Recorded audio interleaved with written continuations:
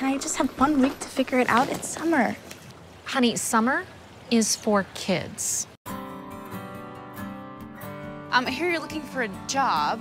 I, I have a suggestion, my daughter Chloe. I really don't have a lot of experience with babysitting.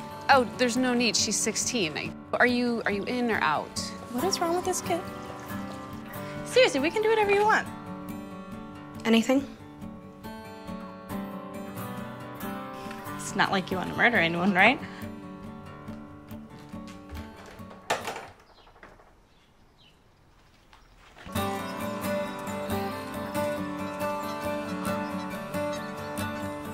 I don't want to hike at the ocean. I want to hike to the ocean.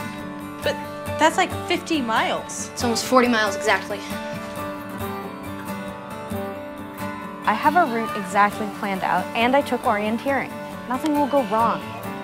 Well, why'd you drink so much? Because it's 170 degrees outside.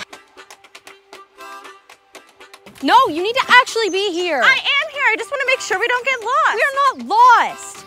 Are we lost? Do you just want to start walking now? Yes. What kind of kids go hiking nowadays, huh? Weird ones? Crazy ones. I need a partner, A babysitter. an accomplice.